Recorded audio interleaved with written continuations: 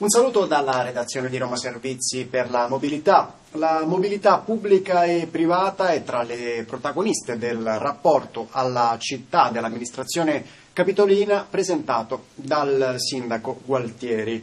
Tra gli obiettivi per i prossimi anni il prolungamento delle metropolitane, intanto a dicembre termineranno i lavori serali di ammodernamento della linea Prosegue intanto la riqualificazione progressiva delle strade della viabilità principale e sono aperti i cantieri giubilari, in particolare quelli di Piazza Pia e Piazza dei Cinquecento, a cui da marzo si aggiungerà quello di Piazza San Giovanni. E sul tema della sicurezza stradale, obiettivo dell'amministrazione è far diventare entro il 2026 il 70% delle strade capitoline zone con un limite massimo di velocità a 30 km orari.